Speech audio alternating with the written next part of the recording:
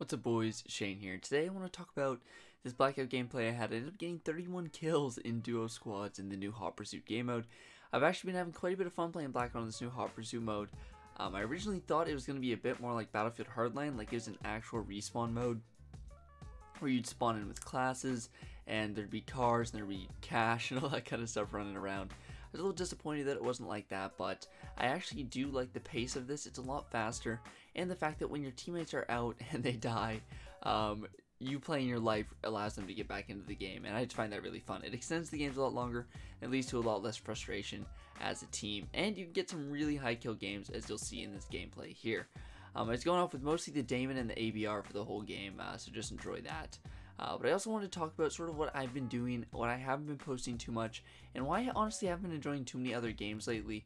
Um, I actually have the CWL Fort Worth tournament coming up very soon. Um, it is March 15th through 17th. It's a Call of Duty Open event, so I'll be uh, playing the open bracket. Um, my goal, to be honest, is to get top 64 at the tournament. Uh, CWL Las Vegas was my first tournament. Um, and I got top 112 in that, uh, but it was my first LAN in general uh, competing, and there were 256 teams, uh, or 280 actually, and I got top one, uh, 112 at my first event at, at 18. I thought that was pretty good, um, but I've been playing a lot better. Uh, I feel a lot more confident in my team. Um, we don't really have as many weak links as my Vegas team did, and I think we can definitely get top 64. So that's my goal. I'd be really happy with top 48. Uh, because my goal by the end of this game is to get top 32 at one event, because that puts you in pretty good standing to um, compete in the next Call of Duty and just get on a good team. As, again, my first year competing, um, I know a lot of you that follow me on Twitter and stuff know about this. Um, it's the same as my YouTube at Shane the Laser. That's kind of why I changed my YouTube was to keep everything uh, the same. Um, but yeah, I talk about it a lot more on my Twitter because that's where most of the competitive Call of Duty stuff is. Um, and I'm going to start posting more of my competitive matches on here. Um, the only issue is that when I record with my Elgato, you actually can't hear my teammates' voices.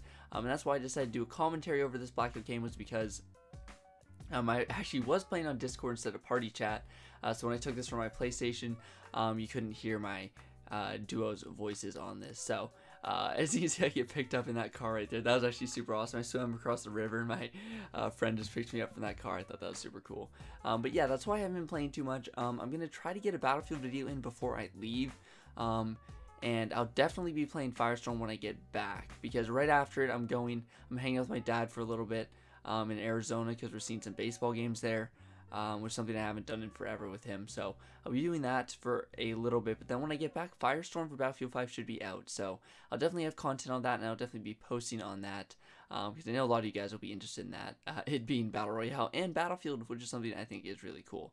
I wish again it was standalone and free to play, but nonetheless, I'll still definitely enjoy playing it. Um, as far as just the channel goes in general, I'm not really sure what direction to take it. Um, I think until I really find something I'm passionate about making videos on again, I'll just sort of post here, there, keep you guys updated with what's going on. Uh, post something I'm like interested in the gaming scene like I did that Titanfall 3 video that did pretty well. Um, I did some Apex Legends videos when it came out. Um, but yeah, I just don't really have something right now that I really want to grind on YouTube. Um, so I'm really just uh, posting videos here and there, just sort of filling the channel, keep you guys updated, and plus sort of fill my urge for video posting because I still love editing and that kind of stuff. So I definitely want to uh, fill that urge within me. Um, but yeah, I definitely think until like Titanfall 3 comes out, uh, maybe Modern Warfare 4, but I always find Call of Duty hard for YouTube. Um, there's just, it's so oversaturated at this point, and there really isn't too much to do.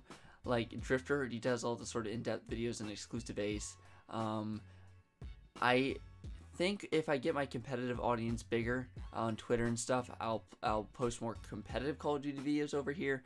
Um, but I still like making the public video, the public match videos. Honestly, even more. So I'm not really sure, and I definitely enjoy making the Battlefield videos. So whatever the next Battlefield is, hopefully Bad Company. If it's Bad Company 3, or if it's like a true Battlefield 5, like a sequel to Battlefield 4, I'll, I'll grind the heck out of YouTube for that. Um, and I'll post that so much. That's one of my major regrets is that I had the ability to post YouTube videos when Battlefield 4 was out, um, but I just didn't really think it was worth it. Um, and really what started my whole YouTube was that one Deagle video I did during the uh, Battlefield Hardline beta. Um, so that video ended up getting like tens of thousands of views, like 30,000 views, and it sort of uh, jump started my channel up to like 500 subscribers right off the bat. Um, So that that pretty much brought me to YouTube, and I didn't really have a successful video like that on Battlefield 4. I really wish I had, man, because if I had, I could have been making videos all about Battlefield 4. And honestly, it, it wouldn't have mattered now since I'm not the biggest fan of Battlefield 5. Um, but just looking back and being able to see all those, a bunch of old Battlefield 4 videos of myself would have been really cool because, to be honest, Battlefield 4 is like still my favorite game of all time. Um, and looking back on like Infinite Warfare and Battlefield Hardline is really cool. Um, and seeing those videos on my channel, and thank God I posted some Infinite Warfare videos on my channel because even though they get barely got any views, man, they got like 50 views, 60 views.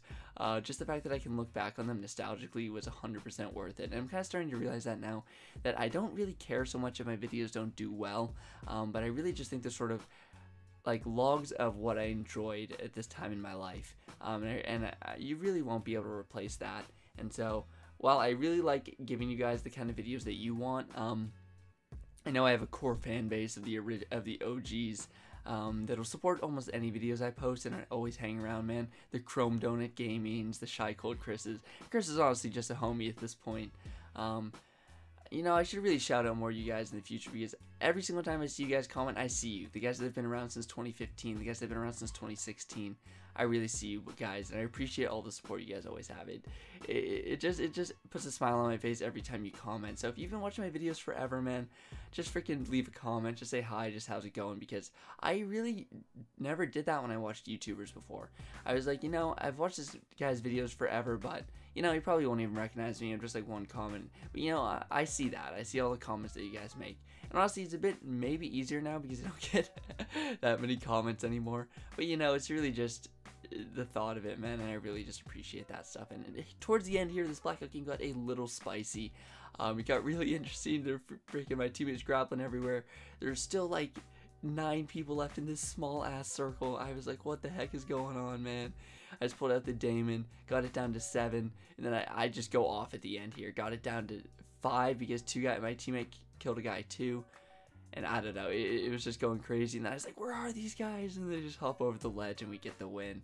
If you guys are new here, don't forget to subscribe. And I'm assuming it's a lot more of my old fans uh, that are hanging around for this. But again, boys, don't forget to drop a like down below, subscribe if you are new here. That's what it is, you guys. Thanks for watching. I'll see you guys next time.